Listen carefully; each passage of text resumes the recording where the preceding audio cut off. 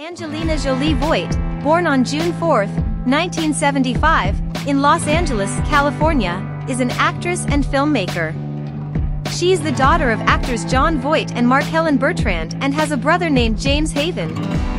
Jolie's godparents are actors Jacqueline Bisset and Maximilian Schell, and she is also the niece of singer-songwriter Chip Taylor and geologist and volcanologist Barry Voight.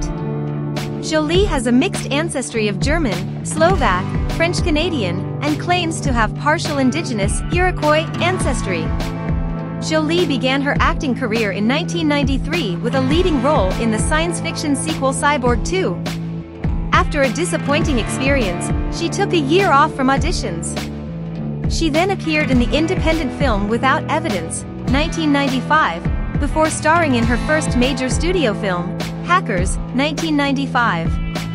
Although the film did not perform well at the box office, Jolie's performance gained her recognition, and it has since developed a cult following. Jolie's breakthrough came in 2001 with the action-adventure film Lara Croft, Tomb Raider, based on the popular video game series.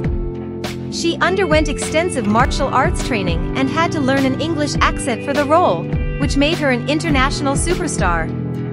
Jolie is also known for her humanitarian work, advocating for children's education and the rights of vulnerable children, including child immigrants.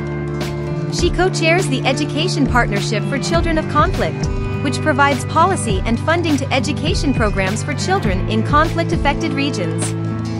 Jolie has received several awards for her humanitarian work, including the Global Humanitarian Award and the Citizen of the World Award.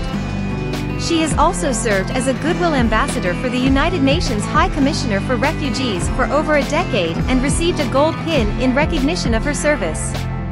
According to Celebrity Net Worth, Angelina Jolie's net worth in 2022 is $120 million. I invite you to subscribe to my channel for the latest hottest celebs videos, and, if you have any suggestions for hottest celebrities, leave a comment and I will take it into account.